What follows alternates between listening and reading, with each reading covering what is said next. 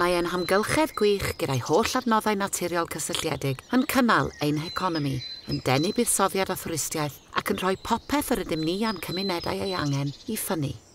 Ond mae'r pwysau ar ein hadnoddau naturiol yn cynnyddu. Dyna pam mae gennym bellach ddeddf yr amgylchedd.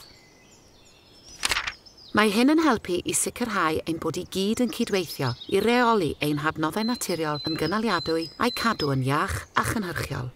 Mae mabwysiadu agwedd mwy cydgysylltiedig yn golygu y gallu'n hadnoddau naturiol barhau i gynnig manteision i ni gyd, creu cyfleoedd ar gyfer busnesau a chymunedau, ac yn holl bwysig, mae'n helpu i ni addasu'r newid yn yr hinsawdd a chynyddu beo amrywiaeth.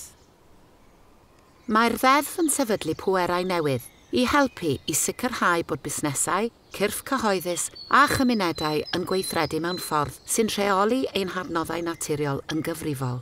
Mae'r ddeddf yn cysylltu popeth drwy gefnogi llawer o fentrau ehangach sy'n helpu i hybu ein heconomi a gwella ein hamgylchedd. I'n helpu i reoli ein hadnoddau naturiol yn gynaliadwy, mae deddf yr amgylchedd yn arwain at Adroddiad ar gyflwr adnoddau naturiol Cymru i wella ein tystiolaeth. Polisi cenedlaethol ar gyfer adnoddau naturiol i bennu risgiau, blaenoriaethau a chyfleoedd.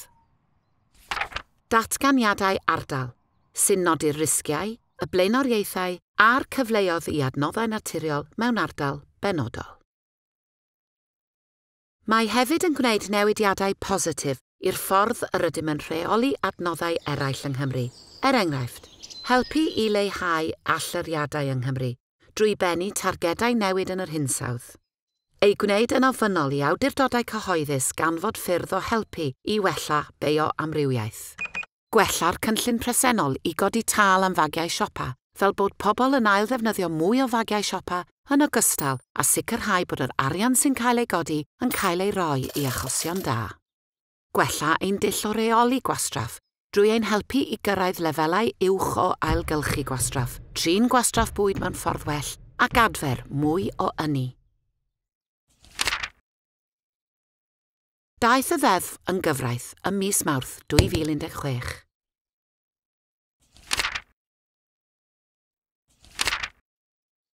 Cewch wybod mwy am ddeddf yr amgylchedd ar ein gwefan.